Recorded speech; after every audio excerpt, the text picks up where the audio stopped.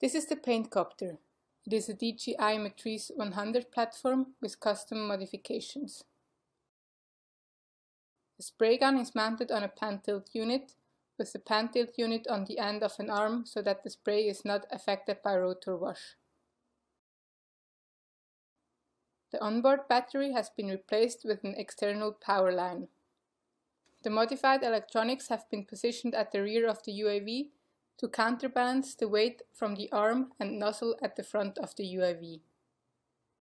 Paint is supplied via an external paint line and pressured air line. The use of external power and paint enables extended mission times suitable for industrial painting tasks. The onboard sensors are an Intel R200 RealSense for depth sensing and the Zurich Sense S360 visual inertial camera.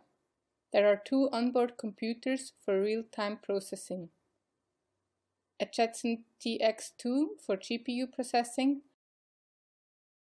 and an Intel upboard. The first stage of the pipeline is to scan a target surface using a dense SLAM system.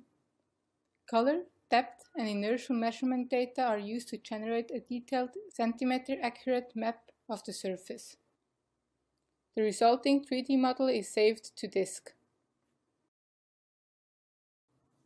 At the next stage of the pipeline, the designer is able to specify area fill and line painting on the visualization of the 3D model. The next stage is task planning using the designer specified appearance to generate a desired trajectory for the UAV, plus target spray points on the surface in order to direct the spray gun during the painting mission. Next is the live painting mission.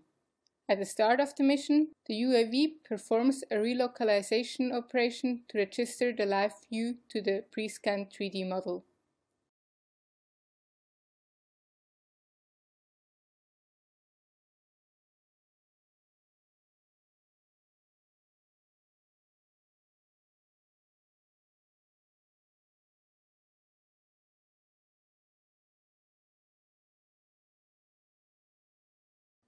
The UAV then autonomously flies the trajectory generated in the task planning stage, and the pan tilt unit is directed to spray the surface using the target spray points generated in the task planning stage. The UAV maintains its pose estimate by localizing against the pre-scanned 3D model of the target surface. Experiments are performed by spraying water instead of paint for convenience with indoor experiments. The spray pattern is visualized using a thermal camera. The user-specified design is shown at top left. This experiment demonstrates area fill.